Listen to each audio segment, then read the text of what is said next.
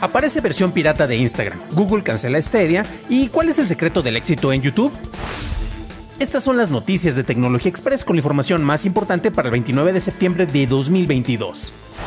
Iniciando esta semana, una versión de Instagram no lanzada por Meta, con el nombre de OG App, ofreció feeds de Instagram sin anuncios ni sugerencias de contenido de personas seleccionadas al azar. Esta versión fue eliminada de la tienda de aplicaciones de iOS, tuvo más de 10.000 descargas, con lo que llegó al lugar 50 en la sección de aplicaciones más descargadas. 9to5Mac informa que los miembros del equipo de la aplicación de OG se les restringieron sus cuentas de Facebook e Instagram y un portavoz de Meta comentó que esta aplicación viola nuestras políticas y estamos tomando todas las medidas de cumplimiento adecuadas. La aplicación de OG sigue estando disponible en la Play Store de Google. Este miércoles, durante el evento de Search On 2022 de Google, la granja anunció que promocionará y reproducirá de manera automática videos cortos durante los próximos meses. En el mismo evento, Google mostró una nueva función de Lens, con la que los usuarios podrán enfocar su cámara hacia una calle y ver restaurantes, ubicaciones de cajeros automáticos y otra información relevante en una capa de realidad aumentada. El servicio de streaming Epix, propiedad de Amazon, cambiará su nombre a MGM Plus para el próximo año a partir del 23 de enero de 2023. Amazon concretó su acuerdo para adquirir MGM por 8.450 millones de dólares en marzo de este año. Si hay algo que sabe hacer Google es lanzar proyectos para cancelarlos después. La más reciente víctima es Stadia, su propuesta de juegos en la nube. Este permanecerá activo hasta el 18 de enero de 2023.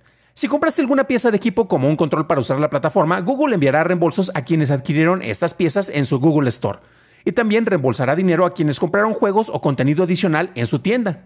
La causa del cierre es que no obtuvo suficiente atención por parte de los usuarios, de acuerdo con el vicepresidente de Stadia y gerente general, Phil Harrison. Los miembros del equipo de desarrollo se incorporarán a otros departamentos de Google. Pasamos a la noticia más importante del día, y es que en el lado de cosas que Google no va a cancelar mmm, pronto, tenemos a YouTube. De acuerdo con datos de Comscore, en julio llegó a más de 55.7 millones de espectadores mayores de 18 años, siendo así la plataforma de streaming con mayor alcance para la generación Z y millennials. Según algunas encuestas, el mayor atractivo de YouTube es la variedad de contenido original que no está disponible en otros lados, como este reporte de noticias que estás viendo o escuchando.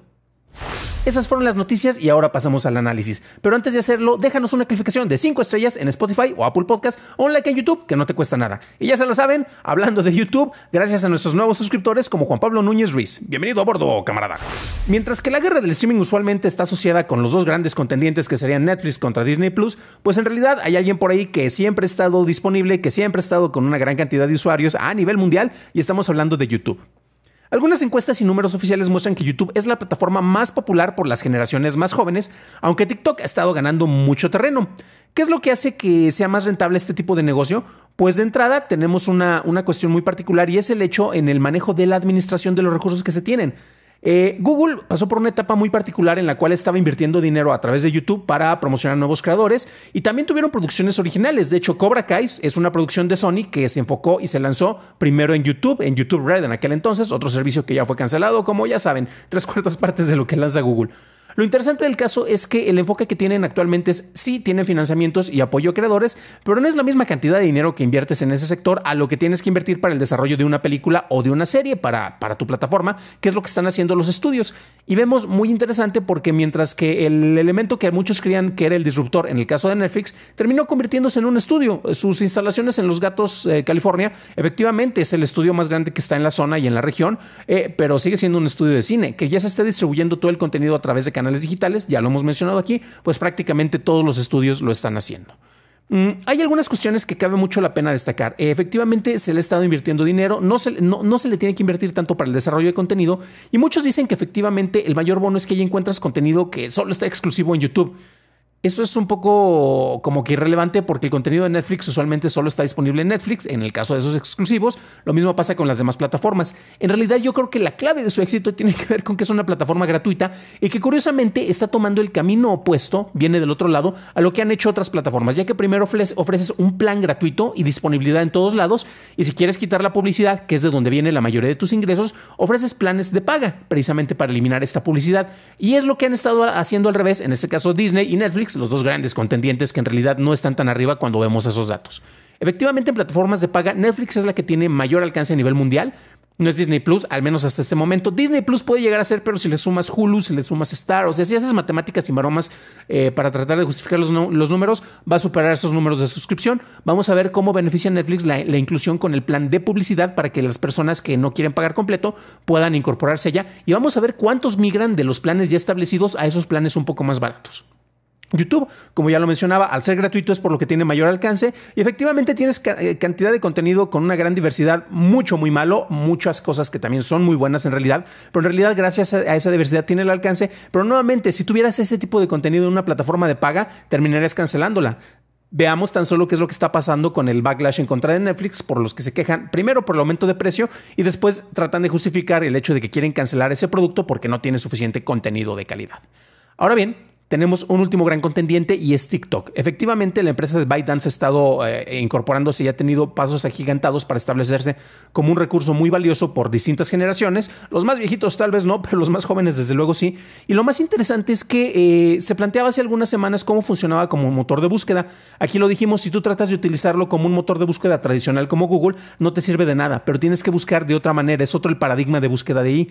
Y también es interesante porque si quieres encontrar cosas como tutoriales, es más fácil encontrarlos en TikTok y de repente vas a ver un video de un minuto, dos minutos, tres minutos, mientras que el mismo tutorial tal vez en YouTube duraría 10, 15, 20 minutos con una explicación, con mucho desarrollo, con mucho choro, mm, como las reflexiones o los análisis que de repente ofrezco yo aquí.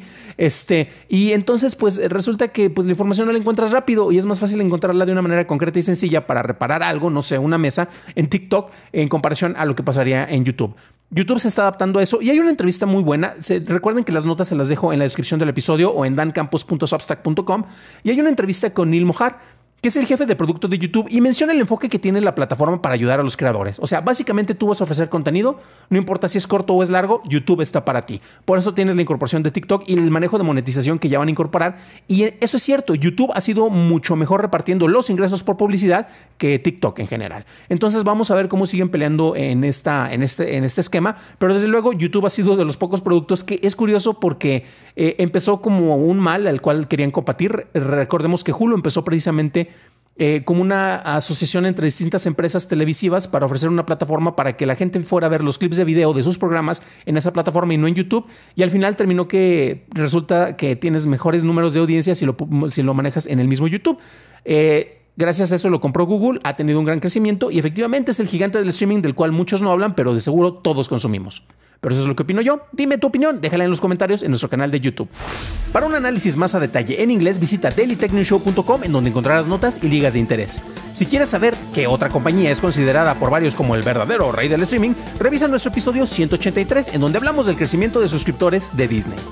Eso es todo por hoy, gracias por tu atención y estaremos escuchándonos en el siguiente programa. Que tengas un genial jueves. Thank you.